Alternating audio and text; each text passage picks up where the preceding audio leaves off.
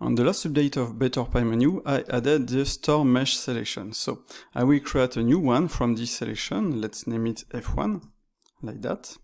Let's create another selection, F2, like that. Let's go in edge mode and select those edge and create a selection.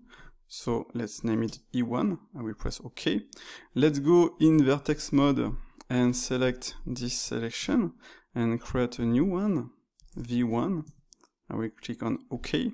So now, as you can see, I have four selections. The first one in face, the second one in face, the third one in edge, and the last one in vertex. And each time, as you can see, it deselect the selection, go in the correct mode, edge here, face here, vertex here and select this selection okay so you can rename them by double clicking here. Select them add to this selection remove to this selection and here you can create a vertex group. You can create attributes and with this one you can move it in the list okay and delete it. So let's see, I will create a vertex group like that. So now I will have a vertex group with this selection with the same name and you will see if I deselect everything and select my vertex group, as you can see, it's okay.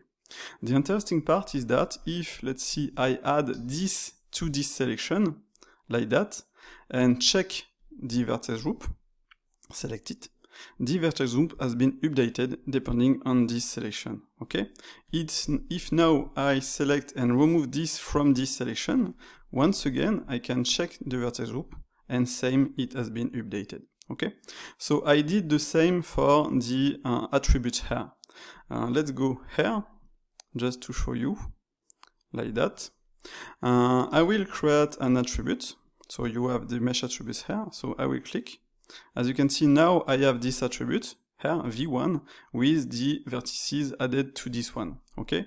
So if I select it, I see that I have all those vertices, I have six vertices, Let's add this to this selection, like that. And as you can see now, I have more uh, vertices to this attribute selection, okay? So if, let's see, I remove them, bam, I have less. If I take those ones and remove them, I have less, okay?